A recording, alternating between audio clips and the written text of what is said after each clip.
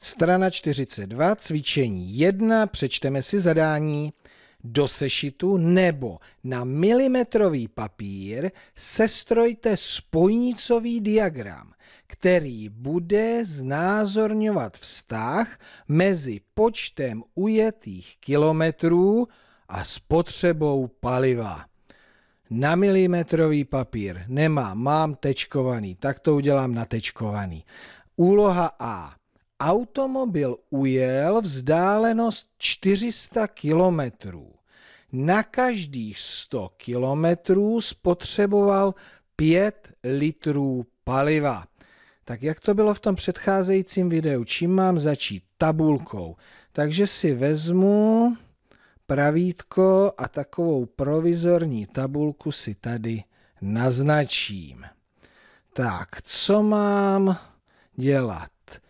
Vztah mezi počtem ujetých kilometrů, to znamená nějaká vzdálenost, vzdá, vzdálenost a tu budeme uvádět v kilometrech a spotřebou paliva. Spotřeba a tu budeme uvádět tady v litrech. Tak, ujel vzdálenost 400 km. Na každých 100 km spotřeboval 5 litrů paliva. Takže prvních 100 km 5 litrů paliva.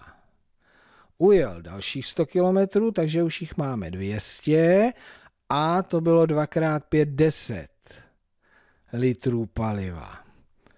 300 kilometrů, 3x5, 15 litrů spotřebováno a 400 a to mě dál už bude stačit, protože vzdálenost 400 kilometrů ujel a 4x5 20 litrů. Takže mám tabulku a nyní si připravím ten spoj, souřadnicový systém, takže pravítko mám tady, pěkně připravené.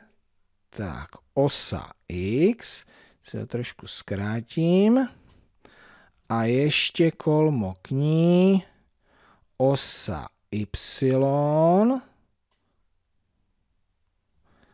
Tak, a teďka zvolím co budu na kterou osu vynášet. Takže na osu x budu vynášet vzdálenost v kilometrech a dílky nebudou po jedné, ale budou, no to by se mě sem nevešlo ani po desítkách, po, po stovkách. Takže jeden dílek 100, druhý dílek 200, další 300, a další 400.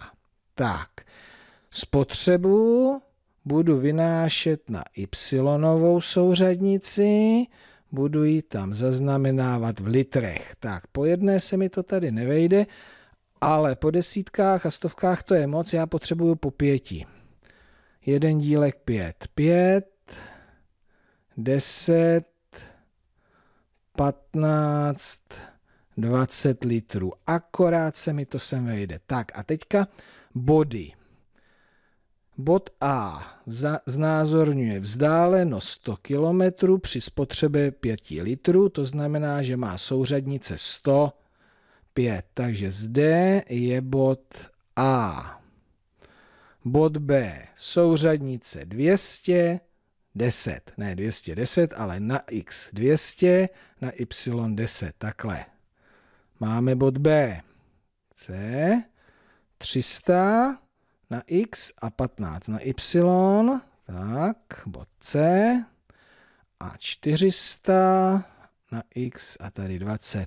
Máme bod D a jestli si dobře pamatuji, máme sestrojit spojnicový diagram, takže se zase vrátíme pěkně k pravítku a propojíme nějakou přímkou a tím ty body nám dali základ pro vznik spojnicového diagramu.